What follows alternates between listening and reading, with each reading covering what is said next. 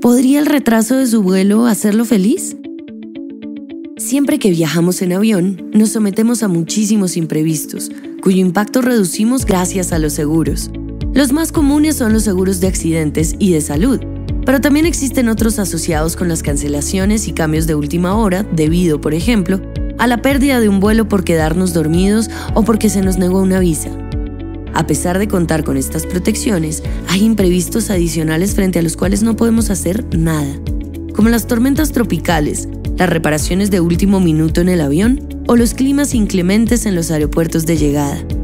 Ahora, imagínese un seguro que de manera automática le devuelva en tiempo real un 1% del valor del tiquete por cada 5 minutos de retraso en su itinerario, sin importar la causa, sin excusas, sin abogados, sin tener siquiera que quejarse con el personal de tierra de la aerolínea.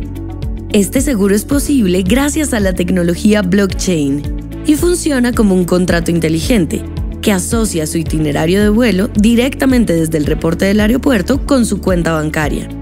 De este modo, a medida que el vuelo se retrasa, se activan las compensaciones. Así de simple.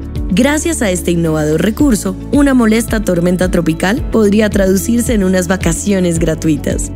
La tecnología blockchain no solo hace posible un seguro de esta naturaleza, también es la base de lo que podría ser la siguiente generación de servicios financieros.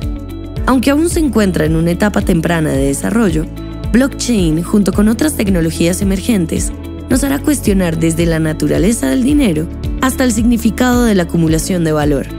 De su adecuado aprovechamiento dependerá simplificar procesos, mejorar el flujo de información, reducir costos operacionales y aumentar el acceso de la población a los servicios financieros.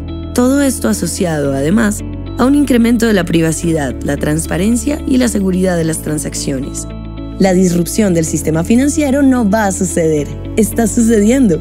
Bienvenidos a la FinTech Creación.